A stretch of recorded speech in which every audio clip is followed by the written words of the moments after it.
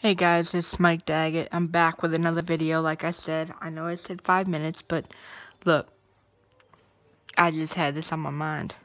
So listen, I know I keep saying I'm gonna do videos, um, my my usual videos. So I'm I'm sorry about that.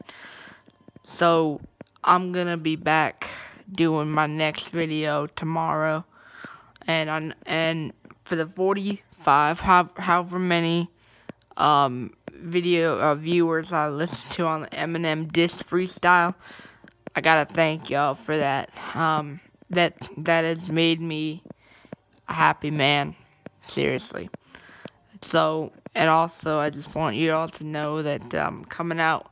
I know I keep saying coming out and coming out, but uh, I'm I'm definitely coming out with a new either freestyle or or something else, either rap or or gospel and whatever my heart leads me to do. So, uh, just wanted to give you all that um, stuff.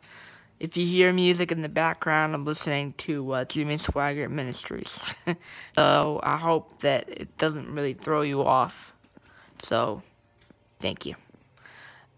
Oh yeah, and one more thing before I sign off today. Um, I've been noticing that, uh, like, I've been trying to get myself known, and and uh, and I thank each and every one of these people who have been listening and who have been subscribed to me for this whole time that I've been creating videos.